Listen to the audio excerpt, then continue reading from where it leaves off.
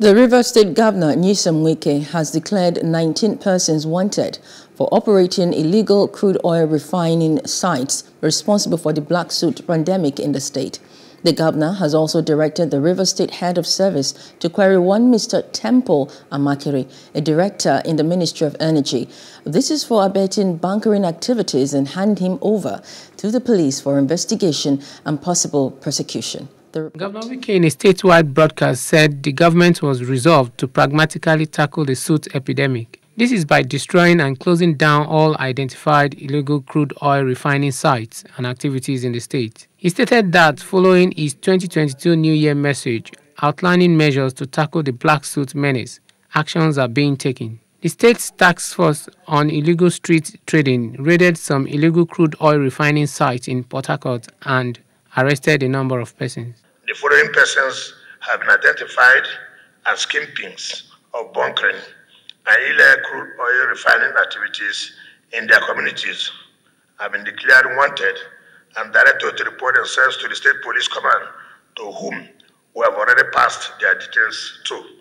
One, Mr. Zuwike Amadi, OSPAC Commander, Obogoro Community, and Chairman of Abo Central OSPAC. Two, one Mr. India of Furubolumene Community and Chairman of White Bunkering Association in Abo Kingdom. Three, one Mr. Oke, who's in charge of White Bunkering in Rumo Parade. Four, Mr. Anderson, who is in charge of White Bunkering activities in community. Governor Wike also reaffirmed the total ban on the use of motorcycles in Obio/Akpor and Port Harcourt councils. This was necessitated by the collective threat they posed to the security of lives and property. No person, including corporate bodies, is allowed to operate autos or up on motorcycles in Obio/Akpor and Port Harcourt local government areas. Any person or corporate entity that requires the use of motorcycle for any lawful purposes must therefore first apply to the office of the governor for permit and proper documentation of the operational details and particulars of both the motorcycle and designated riders. Against this background, we are hereby issuing the final warning to all those operating motorcycle shuttles and or hawking foreign exchange along Birabi Street, Hotel Presidential GRA Junction by Zenith Bank up to Tombia Street to immediately leave or be arrested and prosecuted.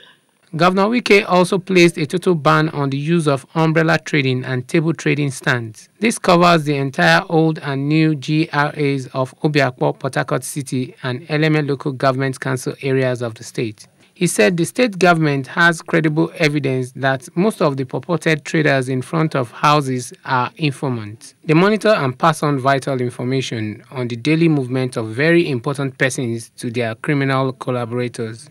Consequently, we have placed a total ban on the use of umbrella, table, and makeshift trading stands in the entire old and new GRAs of Obio/Akpor and Port Harcourt City local government areas.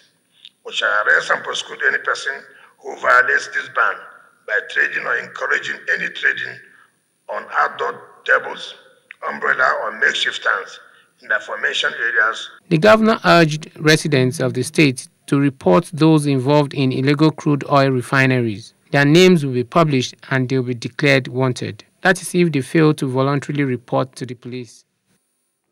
Hello. Hope you enjoyed the news. Please do subscribe to our YouTube channel and don't forget to hit the notification button so you get notified about fresh news updates.